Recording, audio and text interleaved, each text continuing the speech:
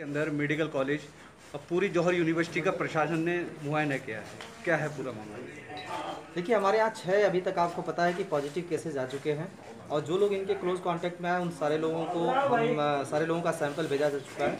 इसके अलावा भी जो लोग, जिन लोगों के, जो लोग सस्पेक्ट्स हैं, ऐसी जगहों से आए हैं जहाँ पे पॉजिटिव केसेस पाए गए उनकी भी हम उनके बारे में भी तलाश कर रहे हैं और बहुत सारे लोग खुद से भी आ रहे हैं, अपने बता रहे हैं। तो अगर नंबर्स बढ़ते हैं तो हमें ऐसी जगह उनको रखना ज़रूरी हो जाता है जहाँ वो बाकी आबादी के कांटेक्ट में ना हो। उस हिसाब से हमने इस प्लेस को चुना कि ये प्लेस बाकी सब जगहों से दूर है।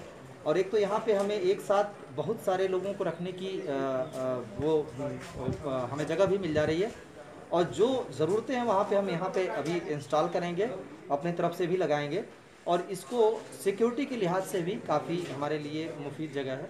तो हम इसलिए इसका सारा मुआयना करने के बाद उस तरीके की सारी व्यवस्थाएँ जिन जिन की कमी है उन सारी व्यवस्थाओं को यहाँ पे लगाएँगे। और लगाने के बाद सभी जितने पॉजिटिव केसेस हैं उनको हम यहाँ पे शिफ्ट कर देंगे अच्छा कब तक के लिए अधिग्रहण किया गया है इसका? ये अब जब तक के लिए ये महामारी है और जब तक हमारे यहाँ पॉजिटिव केसेस आते हैं हम सबको चाहते एक ही जगह सेंट्रलाइज रहें और आबादी से दूर रहें तो जब तक वो पॉजिटिव केसेस रहेंगे या जब तक हम इसकी आशंका या खतरा बना रहेगा तब तक के लिए हमने